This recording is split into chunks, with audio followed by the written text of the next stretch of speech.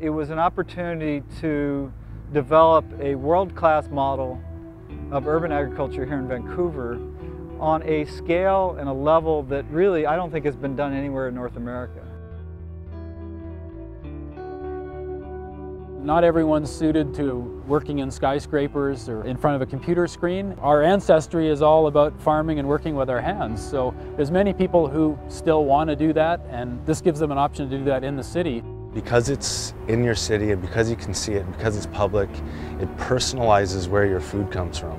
It's ingenious use of uh, space that otherwise has been vacant or discarded.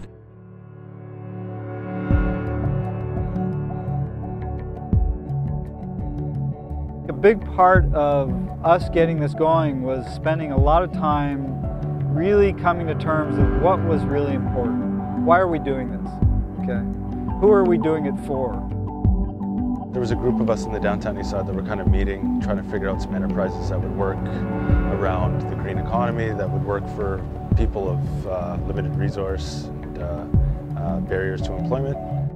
It was clear that the primary goal was to provide meaningful employment to people from the downtown east side. I've always had an interest in like learning how to grow food, but I never really had the opportunity. The first year of my recovery, after I got about a year clean, I just decided that I had to do something, you know, it's like, what's the point of getting sober if you're not gonna do anything with your sobriety? Just trying to give them a space where they're needed, and by doing that, maybe, you know, maybe they make some changes in their life. It was also incredibly important that we uh, break through and provide a really credible model of urban agriculture. How many people is it possible to feed on a very small piece of land? How do you sustain the soils that you're working with? How do you work within an environment where you may have to move after uh, a year or two? I love the innovation of their pallet uh, boxes, which you know enable a whole modular approach to, to growing vegetables, being able to use uh, season extension Technically speaking, it's brilliant what's happening in Vancouver.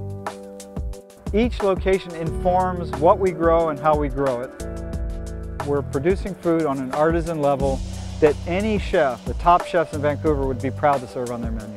Our goal in Vancouver is to be the world's greenest city by 2020, and that's also an economic goal. It gives us a huge competitive advantage as uh, a city economy urban food and Sole Food in particular are bringing a number of those pieces together, creating jobs in the city, creating local healthy food, and doing it in an innovative way. I don't know anywhere in North America where we would have a more sympathetic and supportive environment. By nature of, of, allowing people the experience of sticking their hands in the soil, planting seeds, harvesting, growing the very nourishment that this community is eating right down the block in restaurants, at farmers markets. Uh, that process alone is incredibly healing. I can't say how much it's done for me, like this job, it's just, it's amazing. I love it here.